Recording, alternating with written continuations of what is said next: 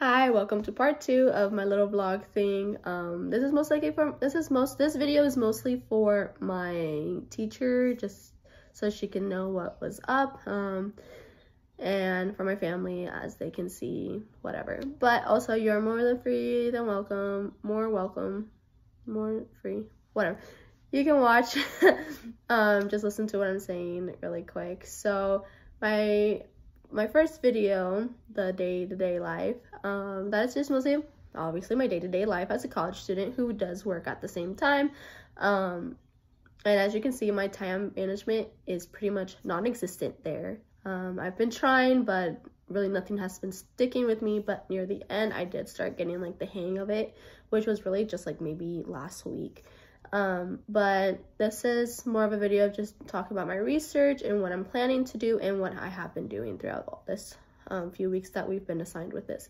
So obviously my topic is time management and it's really non-existent and I'm really planning to get that changed for my next quarter, my following quarters, because I am not close to be done with school. So I did a lot of research on different websites and whatnot but the two um, websites that really stuck with me and where I actually like was able to get more um, like advice sort of from are the two websites called Five Ways to Balance School and Work as an Adult and Does Time Management Work. So from the first one, um, some of the things that like you know I have been I realized I have been doing or that I need to do a little bit more um, was take great lecture notes, which I already do. My notes are like color coded and they're very simple. Like it's very easy for me to like actually like get it into my brain. I think just because I have like colors for different things like formulas, definitions, and whatnot, or examples. Like I have them in different colors. And then reduce distractions while you're studying. Um, make lists of the tasks you need to accomplish and consider talking to your boss which I really need to do, and get enough sleep. And then in my next, in the next um, website for Does Time Management Work, um, the ones that stuck with me most is prioritize, discuss realistic goals with friends and family, stay in the here and now, and focus on one class at a time, which I've been trying to like, you know, go back and forth, but it does not work. You need to stick with one. And um, also, also with like getting enough sleep, is this um, says that Lack of sleep actually makes your task much harder. Your mental health, physical health, stress levels, and schedule are all affected. And I am going to preach to that because my lack of sleep and of how uh, much like physical strength and like mental strength my work um like you need it for that and with the lack of sleep and trying to do everything it has gotten to me and it has overwhelmed my body like physically and mentally where I went to the hospital where I went to the ER because I was getting um basically I was just like getting sick and like my body was just like saying you need to stop. Did I stop? No but I am now taking more of my health more into actual like matters so yeah. So one of the questions that we were asked is what did we do to act on what we've learned throughout our research so I started to apply my what I learned throughout my research um, to my day-to-day -day life slowly because I know that if I change it, it's going to be too much of a change and I'm just gonna like procrastinate and I'm not gonna do it again. I'm not gonna do it. Um, and also we're asked if um, if it worked for us and if we would do it again and if we would recommend it. From what I've been doing recently, it has been working. I can feel it. I don't feel as stressed anymore. Um, I will be doing it again because I will be adding more to it. And I would recommend some parts to um, other students but not everything because everyone's like their own personal life is very different to others you know? Like some things that I, i'm gonna have a certain schedule and that might not be exactly the perfect fit for another student you know? So i would recommend a lot of things like such as like making sure you're eating healthy make sure you get a planner maybe not a planner, you know, just like make sure that you get a list at least um, of what you need to do day to day or weekly, you know, and then um, talking with people that is very important. Talking either about your mental health, your physical health, or just like trying to like have someone to keep in touch with you about what you're doing. Um, and then we're asked about what we, who we did we share, and then with did we get any feedback and what was it like to share? So i obviously am sharing my videos with youtube. So hello youtube. And i also shared it with my class. And then after i'm done with both videos which is this the second video um, i'm gonna be sharing it with my family because we don't really see each other that much. It'll be like maybe like very small interactions throughout the week. Um, we do see each other mostly on the weekends though. That's like the days that we actually do see each other from morning to night. Um, but we're like busy or we're you know doing like some family time and we don't really want that we don't like talk about like this stuff that much um i'll they'll ask me when i get home late at night but you know we're all tired we all want to go to bed. So it's very short kept um and you know we'll do like some phone calls like if i'm at work i'll call my mom and i'll talk to her about that day. But yeah so i want to show them how my day-to-day life is because um with this new life thing with work and school it we have very different schedules because when I'm home, they are either at school or my parents are at work. And then when they're home, I'm at school and then I go to work. So either way, we're not home at the same time unless it's usually the weekends. My main takeaways from this project is that I need to prioritize my education and I need to be able to communicate with others to help not feel crammed and fall behind. So I work so I have more hours at my work than I do in my education. I work maybe like from a 30, 35, 40-ish hours a week. 40 is like if I'm working full hour shifts, which some nights I do. Um, and it's five nights a week, six to eight hours a day, well, night. And I roughly go to school maybe eight, ten hours. Um, yeah, I most likely will be at the school for that long. Maybe not like at the school, but you know, doing like study stuff, that is usually like how long ish. Um, and then I said in my little paper thing that I do have my online studies, which takes like 10 hours a week. And then plus doing my homework. There isn't that much time. And when I'm trying to do everything at once, it actually makes me fall behind because I feel like very, um, I feel really cramped and really rushed. And then when the due dates come up and like I see that I'm I don't have everything that I'm supposed to have done I'll do all-nighters and I'll take like a five an, an hour nap around five in the morning and then go to school or work or whatever comes up.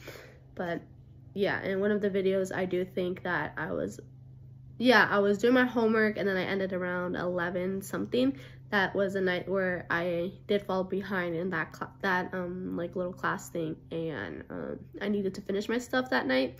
So that night was very stressful because I usually come home I shower first and then I do whatever I need to do afterward. But that night I did straight homework and then I ate and then I came upstairs and showered and everything.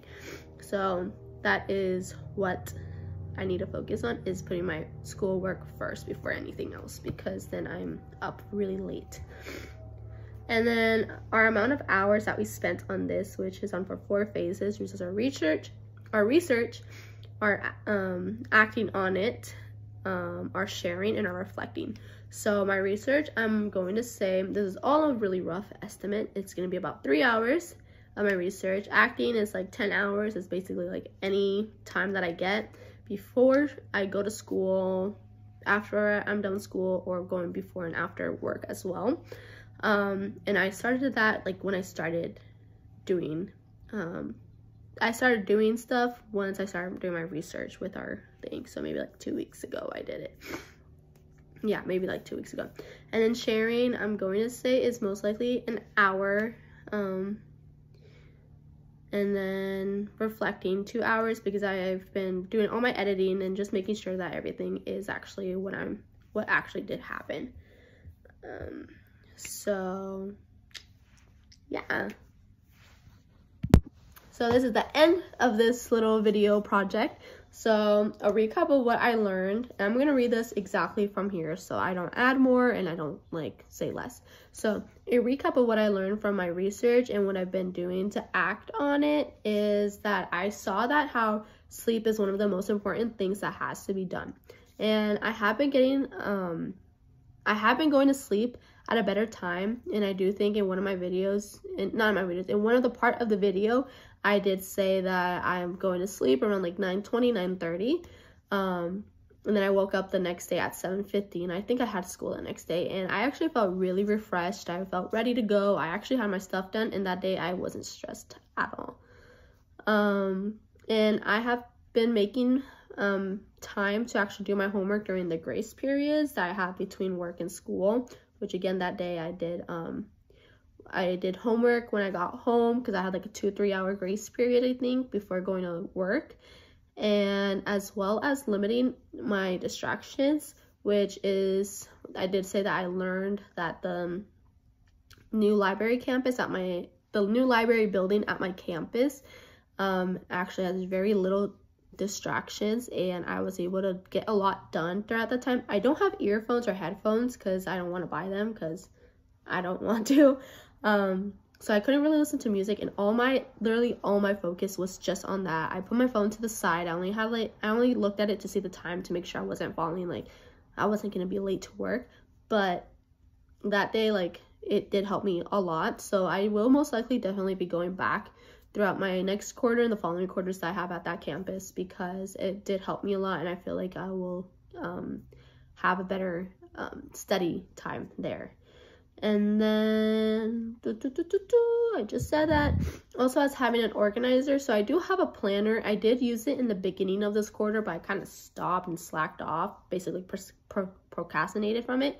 So, um, and I did realize that once I stopped doing that, then I started to fall behind on stuff because I wasn't like keeping myself um, aware of it. So oh not aware accountable for it so i do think i'm going to be doing my best um, to keep on using it throughout the next quarters so it can help me and just help me not like slack off and i can actually have like a visual representation of what i need to know instead of just like trying to remember about it and then um, after and then after sharing these videos, I will be talking more with my parents and close friends about what I'm planning to do for my week, educational wise and work wise to share, and hopefully have that support that extra support throughout the week. Um, hopefully they check in. What I would like is for them to check in with me and see where I am. Um, and just like thinking that like be like, oh, they're gonna ask me and I need to have this done. I feel like it'll be another encouragement for me to keep up with my schoolwork and not fall behind and make